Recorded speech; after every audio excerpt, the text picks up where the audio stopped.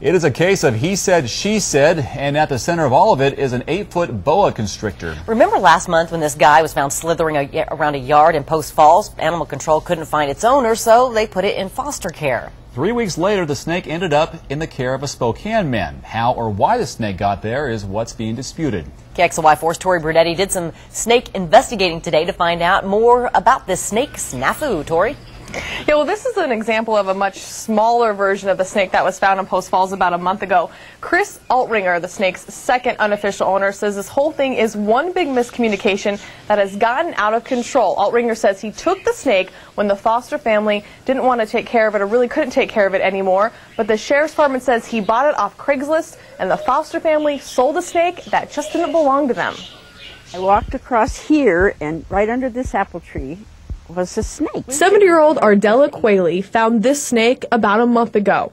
Back then, she wondered who would want an eight foot boa constrictor. Because they're creepy, you know. So, no, I don't, I wouldn't want one. Little did she know that weeks later, the snake would be in the middle of a type of custody battle. I think it's out of control. I think it's it's something somewhere, some along uh, along the lines, communication was broken. 23-year-old Chris Altringer, who already owns one snake and became the homeless snake's second unofficial owner. The lady was looking for a, a snake cage for the snake that had been found in Post Falls because uh, hers had broken. That is how Chris says this whole thing started. The snake broke its cage, and its foster parents, Matthew and Anna Harrington, were looking for a new one. I also told her that if you ever find you can't care for the snake, then I'll, I'll take care of it. And she emailed me back. She said, "Well, it's actually, you know."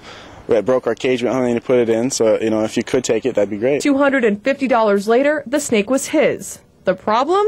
Kootenai County officials say it was never the Harrington snake to get rid of, and they knowingly sold a snake worth $1,100 that wasn't theirs. The Harringtons didn't return our calls, but told Chris the snake belonged to them. At first, they were foster parents, but then the, the Kootenai County had told them after seven days, if no one claimed it, the snake would be yours to, to keep or find another home for it.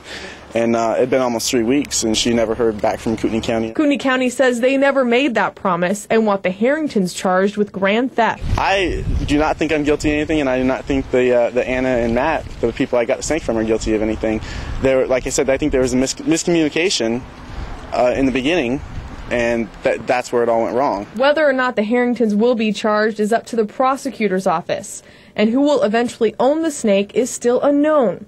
All this confusion is summed up pretty well by something else Ardella Quayle said the day she found the snake. I just wondered, you know, what do you do with the snake? You know, who do you call?